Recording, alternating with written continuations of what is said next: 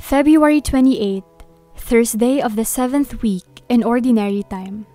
A reading from the Holy Gospel according to Mark. Jesus said to his disciples, Anyone who gives you a cup of water to drink, because you belong to Christ, Amen, I say to you, will surely not lose his reward. Whoever causes one of these little ones who believe in me to sin, it would be better for him if a great millstone were put around his neck and he were thrown into the sea. If your hand causes you to sin, cut it off. It is better for you to enter into life maimed than with two hands to go into Gehenna, into the unquenchable fire.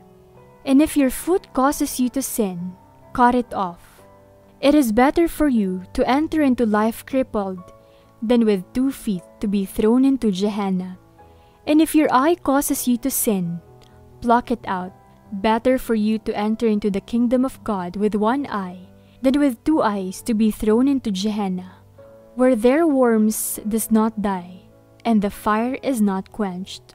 Everyone will be salted with fire. Salt is good, but if salt becomes insipid, with what will you restore its flavor? Keep salt in yourselves, and you will have peace with one another. The Gospel of the Lord. Little ones who believe. Jesus presents children as models of receptivity, docility, trust, and obedience, and shows extra care and love for them. He strongly condemns any act that may scandalize or cause them to fall. Such is Jesus' seriousness in protecting the little ones that he uses a very strong, even violent metaphor as to what the cause of scandal deserves to receive a millstone tied around his neck and he thrown into the sea. So much violence has been done to God's little ones, especially infants and children.